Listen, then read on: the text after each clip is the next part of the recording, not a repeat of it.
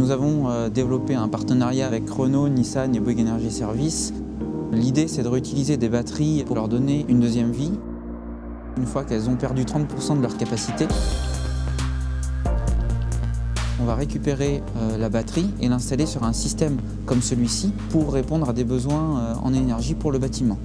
Par exemple, à un panneau solaire photovoltaïque, quand on a un nuage qui passe dessus, on passe d'une production à 100% à une production à 20%.